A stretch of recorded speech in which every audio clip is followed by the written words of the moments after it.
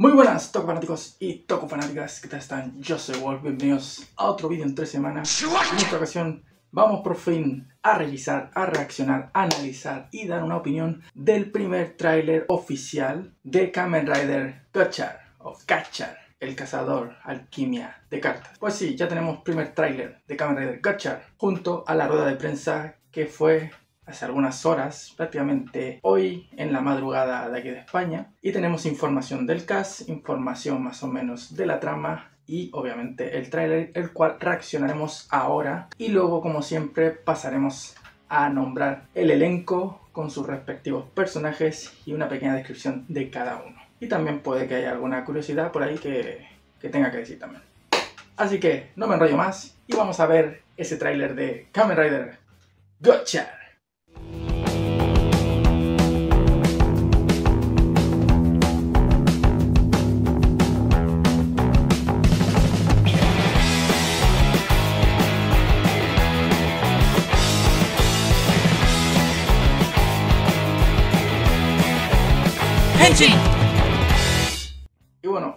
Aquí preparados con el trailer en mano, en esta tablet, aurícula dispuesto, que siempre se me olvida.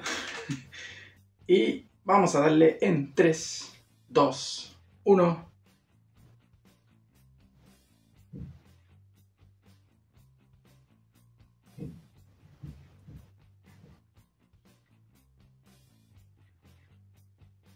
Los alquimistas. Ahí está Gatcher con todos los Shemin Card.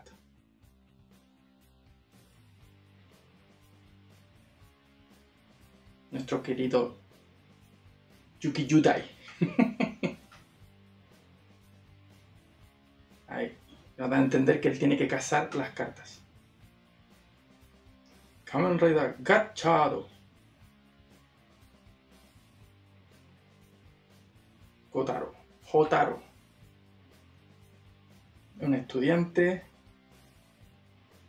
Hopper One va a interactuar en la serie. Está la, compañera, la, la protagonista chica, que siempre anda con el protagonista. Estos son los otros protagonistas que luego indagaremos en ellos. La madre de Jotaro, que también hay algo curioso de ella. Todos los alquimistas tienen un anillo de color. Las villanas, que son tres hermanas. Y una chiquitita.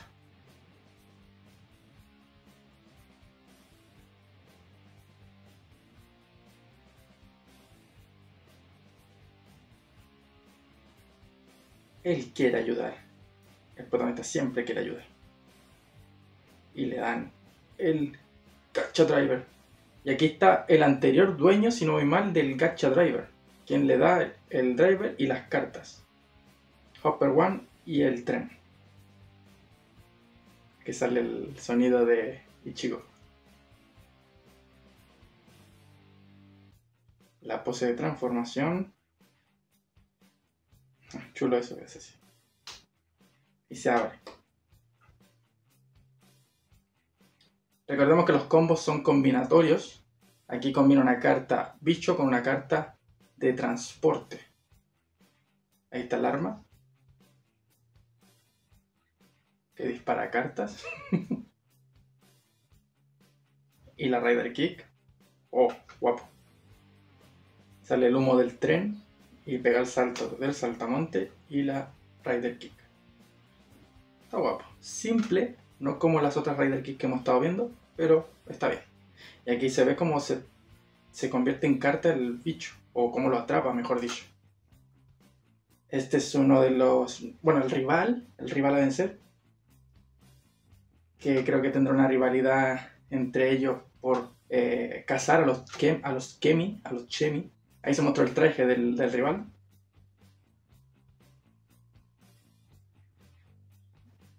El 3 de septiembre empieza esta nueva aventura. Muy, muy chulo. Me gustó el tren, me gustó, me gustó, me gustó. Hay cositas que destacar, como el hecho de que de nuevo estamos con los estudiantes. Esto es muy Force. Y también se podría decir que es un poquito a Ghost por el hecho de que tiene que capturar a estos Chemi y en Ghost se tenían que capturar a los héroes con los icons. Así que hay una especie de Force con Ghost. También se podría decir que tenemos esos combos de cartas que también se podría decir que en Blade también habían combos de, de las cartas también. También sacaban poderes entre algunos personajes pues, destaco el hecho de las villanas, que son tres. Esto me lo comentó Necron, que son como las estas diosas que salían en Hércules, las diosas griegas que van con un ojo. Aunque creo que son como más egipcias que otra cosa. Sí, tienen un traje más egipcio. Y curiosamente, la más pequeñita es la mayor de las hermanas. curioso. Lo del caballero este que le entrega las cartas, no sé si lo veremos con el traje de Gocha o directamente le dará el driver y las cartas, y el rival que tiene un traje hecho por él, según leí en alguna parte, también es un cazador de cartas de, los Chemi, es como Yude Yuki de Yu-Gi-Oh! GX y Chas. Chas vendría siendo el rival. Bueno, pasamos ahora a ver el elenco, hablar un poquito de los actores y de la descripción de los personajes.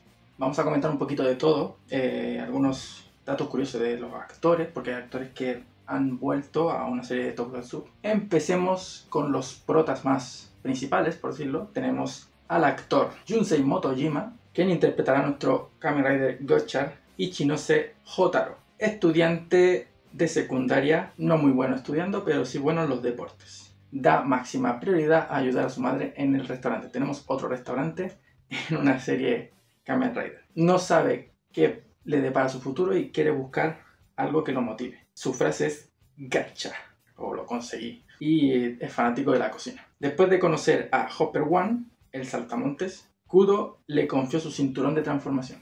Kudo es este señor que le entrega el, driver con las cartas. Tenemos a la compañera de Jotaro, quien es la actriz Matsumoto Nayo. Ella interpretará a Kudo Rainy, que es la compañera de Jotaro, con unas excelentes notas, e hija de uno de los alquimistas más poderosos y famosos, Fuga que es el que le entregó el driver a J. Ella asiste a una escuela de alquimistas bajo la escuela, o sea, tendremos dos escuelas, la de arriba normal y la de abajo el alquimista. Ella es testigo de la escena en la que J se convierte en Gocha y comienza a trabajar juntos. Su padre Fuga fue un alquimista quien robó las Gemin Card hace 10 años y desapareció.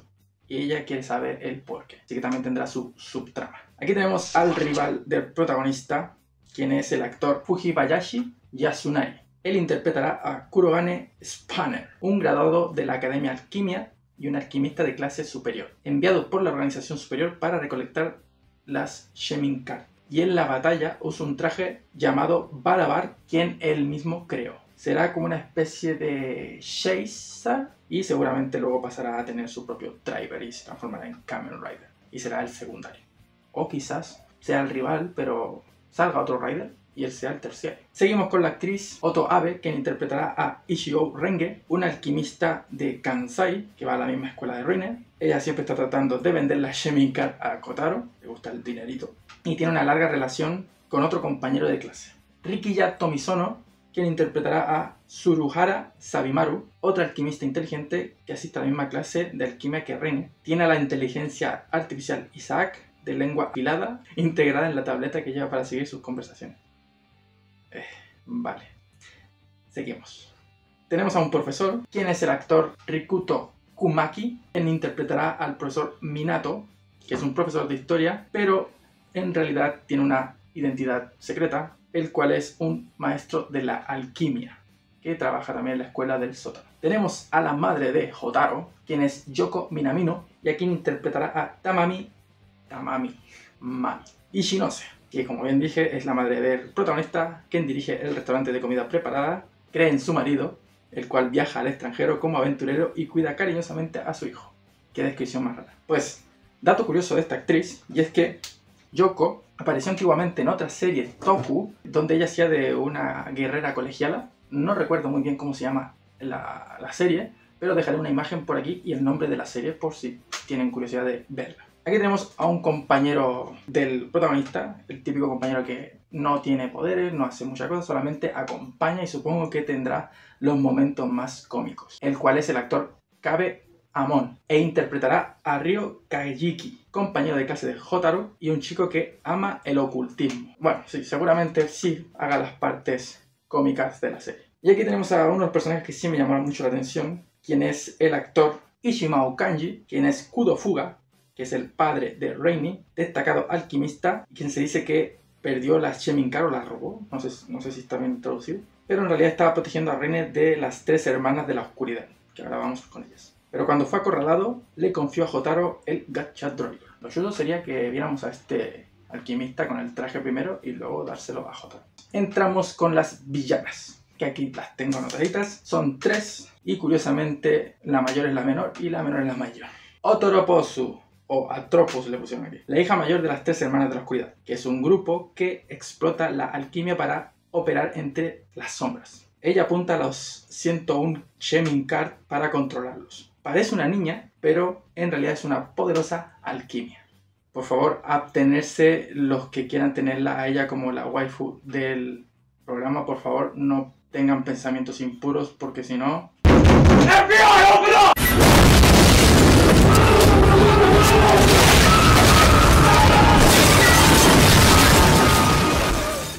conozco. Siguiente, la segunda hija de las tres hermanas de la oscuridad, la actriz Canon Miyariara. Miyariara. Quien interpretará a Kuroto. Ella es la segunda hija y es muy buena en combate. Deciros también que con esta actriz completamos el cuarteto del equipo de soldados de Amazonas. Y la hermana menor, quien es la actriz Sakamaki Arisa, quien interpreta a la hija menor, la Keshis. Y ella es una alquimia especializada en activar cosas con su arpa en boca. que no sé cómo traducirlo. Supongo que activará cosas con el arpa que tiene ahí. Y eso. pues eso sería el cast de Cámara de Gotcha. Y también, obviamente, se anunció el opening de Gotcha, el cual se llama Shemi for History.